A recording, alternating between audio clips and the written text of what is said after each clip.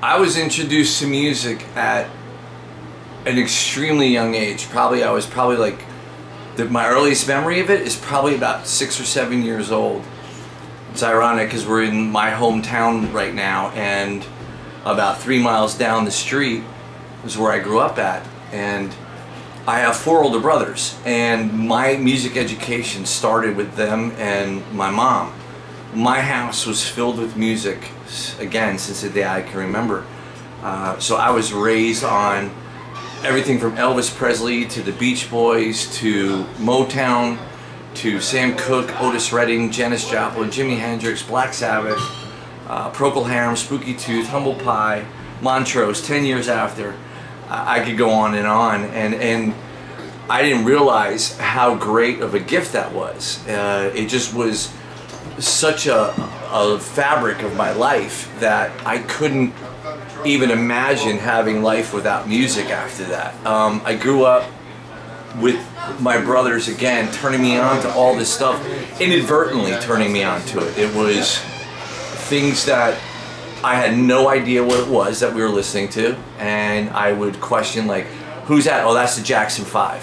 Who's that? Oh, that's uh, you know um, Smokey Robinson and the Miracles." And these things just sort of um, they molded me, and it was such an that was the education. There was no such thing as genres or anything like that. Your music and how much you loved it was predicated on how it affected you emotionally. Even as a young kid, I remember just this happiness in my household, listening to you know ABC, you know, the stuff like that, and for a kid to see Michael Jackson as a seven-year-old kid dancing around and, and singing with more soul than 99% of the other artists out there, it just blew my mind, and I could relate to it because he was a kid, and that was uh, I think that was the the first my first introduction and, and uh, to not only music in general, but how powerful uh, music is, and it still is in my life. And I try to instill that too by blasting music around my house. I was doing it this morning, Jackson 5, you know, and uh, I think it's really great to be able to pass that sort of thing down. I didn't get along with all my brothers per se, but that music was our bond. It was our uh, it was the glue that held us together. It was something that we shared. From being me as a listener to wanting to participate in being a part of music occurred on December 16th, 1977 at Madison Square Garden at about 11.01 p.m. when uh, I, about one minute after the KISS show ended, I, uh, I realized at that moment, after being completely uh, just blindsided by this battalion of superheroes that laid me away. I mean, they were, it was like this freight train, this tank, this, it was like Armageddon, man. I saw these larger than life figures and they changed my life forever. And so I didn't know how I would be a part of it, music, uh, but I knew I wanted to do music for a living. And up until that point, music was it was the the language of my life, but I was a sports guy. I was baseball, basketball, and all that. I was a jock. And once I saw that show, everything changed. Everything changed in, at 11:01 p.m. Driving home on a train from Madison Square Garden to South Amboy, and uh, I knew things were different. It changed my life forever. Because I, I honestly thought I was going to be a baseball player. I thought that's what I was going to do. Um, my uncle was a semi-pro player, so he thought it, that's what I was going to do. And then when I came home, it was, you know, at age 13, going, guess what? Ain't happening. it's going to be music. And it took me a year to find the guitar. But in that year, I knew that it would be music that I would be pursuing. It's funny because Rachel saw the same tour either a week prior or a week after in Philadelphia. And it had the same effect on him. Little did I know that this guy who was my age, living 40 miles away from me, had the same epiphany at the same time virtually, and that 10 years later, we would meet, or nine years later, we would meet and form Skid Row for this, for this, for the for the same reasons that from what Kiss did to us. That music, we realized that you know, maybe we were uh, socially inept, uh, awkward, a little outside of the the cool kids, um, and we didn't just didn't know how to express ourselves. And through Kiss and through the musical upbringing that we had, we found our way, and all of a sudden found our way to okay, music. That's the, that's the great liberator. That's the that's the thing that's going. That's the, the the release valve. You know, that's the way where I sit there and go, oh my god, like everything that I feel inside, I can get it out through music. Um, and he had the same epiphany. And then lo and behold, nine years later, these two guys meet in a random music store in Toms River, New Jersey.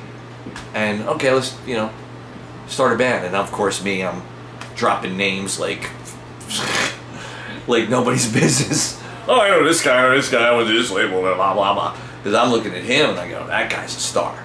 I gotta meet him, man. I gotta meet him. I gotta see what he's about. He's a bass player. He's got his own band. I'm a guitar player. I got my own band. We both are attempting to write songs. Let's see if we can write together. Well, okay. What would Kiss do?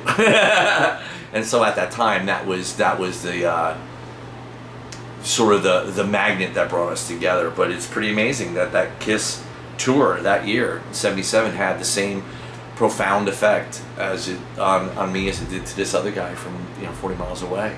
We end up starting a band and being in a band for 28 years together. I've never heard of anybody making it with their first band. and my first band was a cover band. And I think I had a name for the band that everybody had, which was Paradox. And we used to rehearse in my buddy's basement. Uh, Andy McCara, he lived up the street from me, he lived across the street from Johnny Bon Jovi. And, and so I was, John was across the street doing his thing with the Atlantic City Expressway and then the rest. Uh, and then uh, John Bon Jovi. And um, we were doing our thing, playing. I remember getting the first Motley Crue album as a import on Leathür Records, and I was like, "Oh, listen to these guys! Look at these guys!" You know, and uh, I had discovered Iron Maiden, and no one had ever heard of them. So we're playing Iron Maiden songs, and no one knew. We were playing Saxon, playing uh, Angel Witch, all these bands that no one knew what they were, and those bands. Uh, developed into uh, other cover bands with different members and kept moving on and moving on and moving on.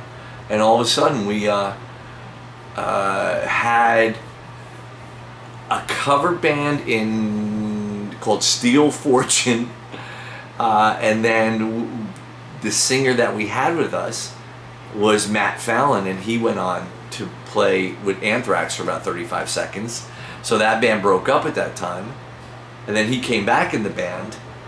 Uh, but I had started writing original songs, and, and we started. That was where Skid Row essentially started, was with Matt originally in the band. But uh, I, I, mean, I've had so I've, so many cover bands: Paradox, uh, Split Decision, Steel Fortune, who knows what else, and uh, but they all were just a you know they were great times because that's how I learned how to write songs was by playing other people's songs, listening to other people's music, and you always had bands with your friends, and it was always so much fun. And you know, we never got paid anything. You know, we we made a couple bucks here and there, but um, the place where I'm at right now, Starland Ballroom in Sayreville, New Jersey, back in 1983, 84, I was the bar manager here. I was 19 years old. It's 84. I was 19 years old. I was underage. I had my band Steel Fortune, and we opened up for the first show that Metallica played after signing with Megaforce Records, and they had just booted Mustaine out, and they flew Kirk in, and the show was here when it was called the uh, the uh, Willys, and that was in 1984. I still have the the quarter page ad in a paper. I sent it to you. I thought, yeah, and I it's it says Metallica featuring material from their you know amazing new record Metal Up Your Ass, and then Anthrax talking about their EP, and then Steel Fortune featuring Dave Szabo, spelled my name wrong, S Z A B O. One of the areas fine. Hi. Ready to go? Yeah, we gotta roll. All right. We gotta roll. I'll finish up later. F you.